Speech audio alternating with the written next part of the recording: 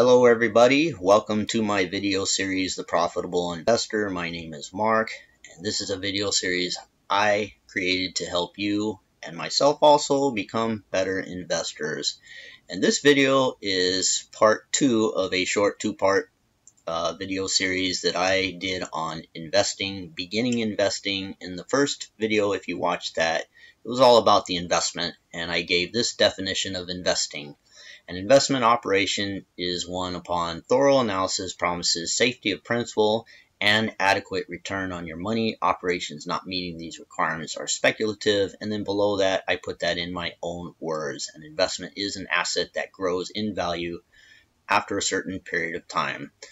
So in this second video, I'm going to talk about the investor because investing has those two parts, an investor and an investment. We talked about an investment. Now let's talk about what is an investor. Now, a lot of people, when they say, I want to be an investor, and you ask them why, they will usually say, I want to make a lot of money, I want to be a millionaire. And when you ask them, why do I want to be a millionaire, they will probably give you a whole list of reasons. I want to buy a house, I want to buy a car, travel the world, send my kids to college, eat at nice restaurants, wear nice clothes, etc.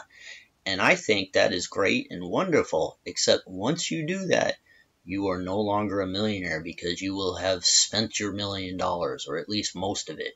You will have less than a million dollars, and you no longer qualify for the millionaire club. So a lot of people, when they say, I want to be a millionaire, what they really mean is, I want to spend a million dollars. And that's great. There's nothing wrong with that. But don't call yourself a millionaire if you're not a millionaire. And don't say, I want to be a millionaire when your whole intention is you don't want, really want to be a millionaire, you want to spend it.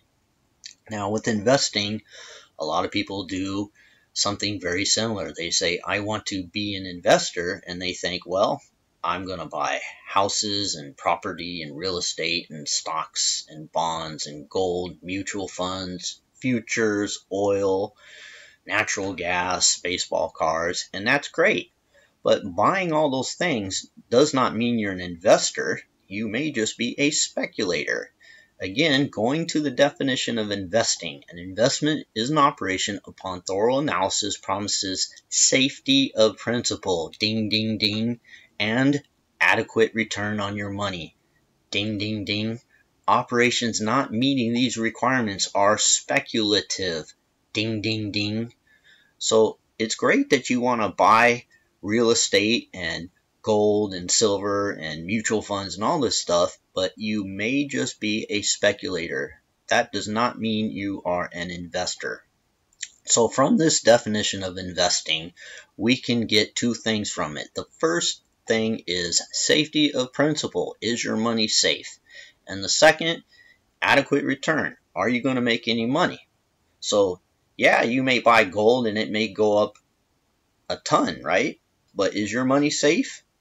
And sure, you could put your money in a checking account and your money is perfectly safe. FDIC insured up to $100,000. And are you going to make any money? A whopping half of a percent if you're lucky. So if you want to be an investor, those are the two questions every investor needs to answer. And those are two questions you need to answer. Number one, is your money safe? Number two, are you going to make any money? If you cannot answer those two questions, you're not an investor. You are a speculator. Remember, the definition of investing promises safety of principal and adequate return on your money. Operations not meeting these requires are speculative. So, if you want to be an investor, this is my working definition of an investor. An investor is one who earns adequate return on his capital while ensuring safety of principal.